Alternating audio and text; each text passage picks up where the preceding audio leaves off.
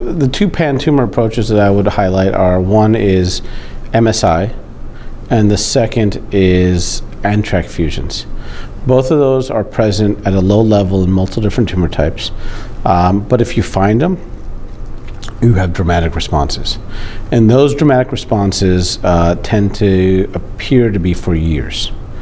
And while I'm hesitant to use this word, the question is, is are we dealing with a curative therapy? And so that's an outstanding question right now. Are these going to be long-term survivors, or are they going to be survivors that um, will eventually progress down the road? Um, we don't know the answer to that, but hopefully we'll know soon.